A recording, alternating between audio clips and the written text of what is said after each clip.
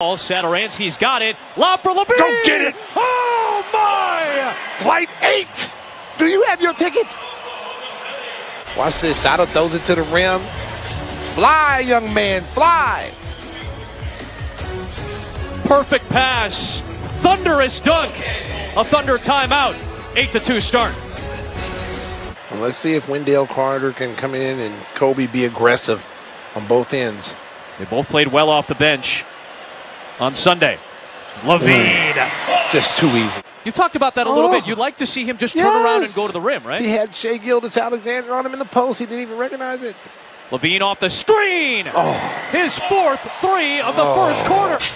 There's LaVine steered out to the corner by Pokusevski. There's the switch.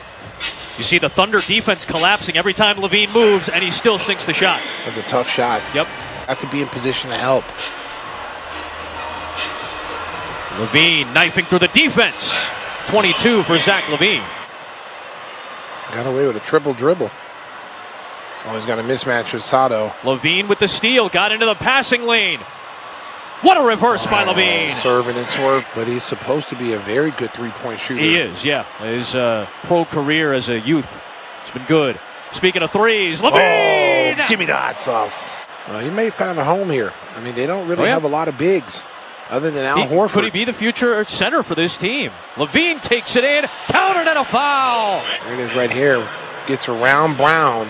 And once he gets around the initial shot blocker, then Oklahoma City's now in their second line defense. And you see right there, he's just too small. Zach just LaVine looking for 40.